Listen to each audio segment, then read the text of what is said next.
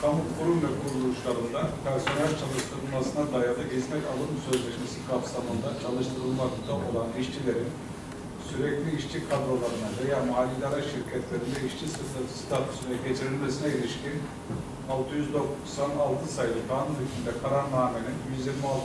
maddesiyle 27.06.1989 tarihli ve 375 sayılı kanun hükmünde kararnamenin geçici 23 ve geçici 24. maddelerinin uygulanmasına dair husus ve esaslar eklenen ek 20 ve 696 sayılı kanun hükmünde kararnamenin uygulanmasına dair husus ve esaslara ilişkin 28. maddesi doğrultusunda İl özellikleri, belediyeler ve bunların üyesi olduğu mali idare birlikleri ve belediyeye bağlı kuruluşların 4734 sayılı kanun sayılı kamu yere kanun 62. maddesi 1. fıkrasının E bendi ve kamu ihale genel tebliğinin 78.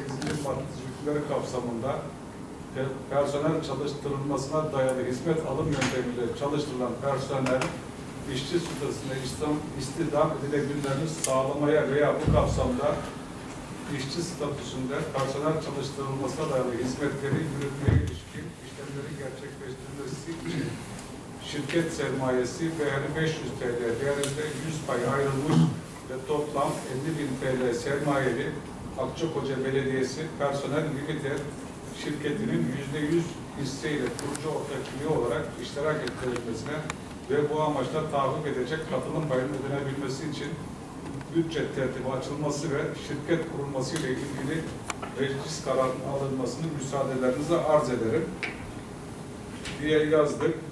Akçakoca Belediyesi'nin taşeranda hizmet veren yaklaşık 132 tane çalışanımız var.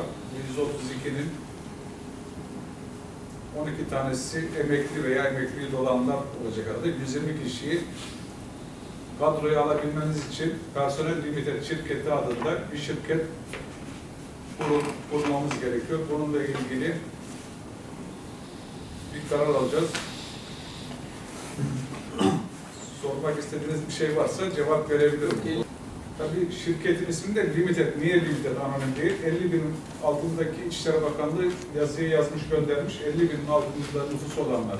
Limited 50 binin üstündekiler anonim ve limited kurabilir demiş, ayırmamış.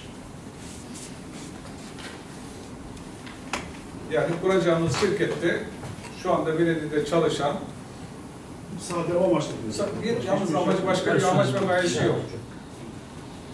Bu da kanun gereği. Kanun gereği, kanun gereği. Şirketin adı Akçakoca Belediyesi Personel Limited Şirketi olacak. 50 bin lira sermaye, yüzde yüzü şimdi belediyenin hissesi olacak. Neticede işi bu yani. Başka bir iş yapma şeyi yok bunun. Sadece personel istihdam etme üzerine kurulan bir şirket yani. Bununla ilgili 131 tane istekli var. E, kadroya geçmeyle ilgili. 4 kişi emekli olduğu için otomatikman sisteme giremiyor. 8 kişi 4 Aralık'tan sonra girdiği için onlar da yok. Biz 118 kişi üzerinden işlem yapacağız. Tabii ki sigortadan yazı bekliyoruz. Orada da eğer 3 ay, 4 ay içinde emeklisi geldiyse bunlar da bu haktan yararlanamayacaklar.